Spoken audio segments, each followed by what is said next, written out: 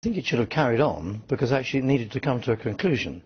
And the conclusion, as far as I'm concerned, is unsurprising.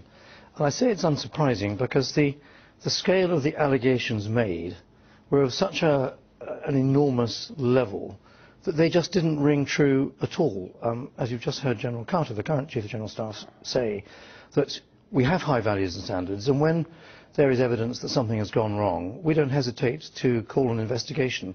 And the Baha Mousa case in Iraq was a very clear one, and that quite quickly came to a conclusion, and the court-martials followed, and disciplinary action was, was taken, and some of our procedures were changed as far as that was concerned. But this, when I first heard about this years ago, one thought, this doesn't sound like British soldiers. The Battle of Danny Boy was a very difficult um, bloody engagement at a very difficult time in Al Amarah, and that particular battalion had an extraordinary tour.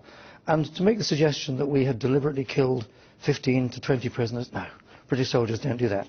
So there's a wider point here, and that is that as it seemed so extraordinary, I think it should have been investigated quickly, and rather like the Crown Prosecution Service has to decide whether there's a reasonable prospect of a conviction.